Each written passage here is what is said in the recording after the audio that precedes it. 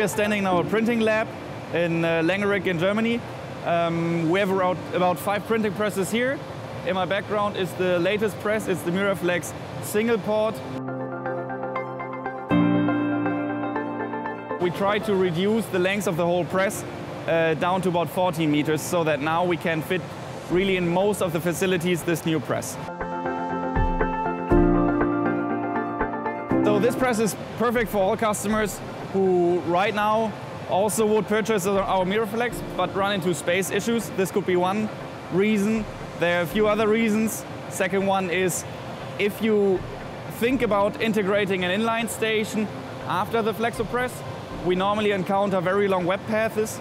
Um, the setup configuration of this press allows us to really cut down the web path dramatically to your needs. And last but not least, now both winders, unwind and rewind, are facing um, each other. So if you have one operator who can handle both, depending on your circle times of each rolls, this can be beneficial for your job change of a structure.